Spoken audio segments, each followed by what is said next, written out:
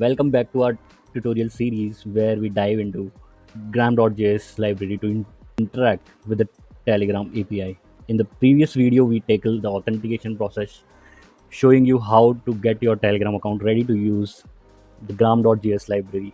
If you missed that, I would recommend you to check it out. The link is in the description below. Today, we are moving a step ahead and we are going to learn how to send a message from our Telegram account to a specific person or chatting channel using gram.js. Let's quickly recap what we covered in the last video. We started with installing the gram.js library. Then we went through the process using the necessary API keys. We then authenticated our account using those APIs key. This process provides us a session string, which is a key component in sending and receiving messages via Telegram APIs. So here the session key generated, and this will play a role, allow us to send and receive the messages. Moving on to the main topic for today. Uh, let's dive into how to send a message using gram.js. We will need to have your session string as well as the API key you obtained in the previous video. So uh, we wrote so far we wrote this this this much of code. Now i'm going to add uh, a code to get the recipient person. So here is the code to get the get the particular person. So here just uh, we, we, would need to add the username of that particular user. Then we will be able to fetch the entity and for sending the message this code will be uh, needed uh, like this. So here we have client already. We have api.message.send message this this api function will pass the peer. Peer will uh, will get with this particular get entity api and here we will pass just just a small simple message hello from gram.js so i'm going to save this and i'm going to run now. Npm run start. We'll see how it will work. I will just open my telegram oh i'm sorry. Yeah. Here we go. So we have missing uh, script like start. So we'll just run node. Node main dot js then we will run. Okay we don't have the username set up here. So for uh, finding the username just need to go here. This is the test user i have created. Just need to go in uh, yeah. Maybe in settings? Yeah here dev test user. Just put uh, so this is my own user so it will uh, if i if i enter uh, dev test user it will uh, send this message to me only.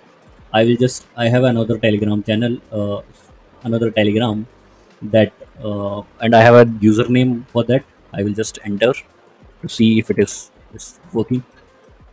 So i have just entered the entity name. You now you already know like from where you can get the username. If you haven't generated this username you can just click on this enter the enter your username here and uh, it will verify if, if it is a valid available user then it will uh, username then it will provide to you that username. This will be a public username like uh, your mail id right. The similarly this this this works. Okay so just you have to add your username here and click on done. Then we are all set up now. I have entered my another telegram uh, username here. I will just run this program now. So and we'll see if it is sending the messages okay. API is not defined. All right so here we'll pass just API and then it will run again. Okay. Huh here here you can see. Sent a message and I received a message here. Hello from Grand gram.js all right so this is how it works we'll go to the same uh, my telegram. Okay so i'm i'm on my telegram account. All right now uh, i will show you how you can uh, send a message in a particular channel. So let me create a channel here. New channel. Testing i will just give a name. Testing test and i will make a public channel. Testing telegram api or telegram api tuts oh this is also tele tuts oh, it is. Yeah.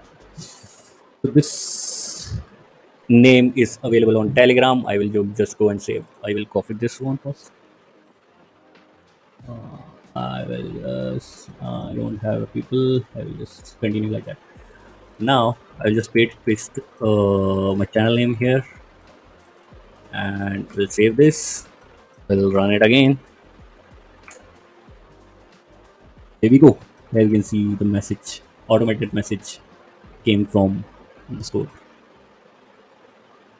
yeah. All right. That's it for this video. We covered how to send a message to a specific person or a channel using the gram.js library with the telegram api next time we will dive even deeper and learn how to receive messages. So if you want to make the most out of the telegram api and the gram.js library make sure to hit the subscribe button and the ring the notification bell. You don't miss it. Also if you found this video helpful you do give it a thumbs up and share it with your friends. Until the next time happy coding. See you in the next video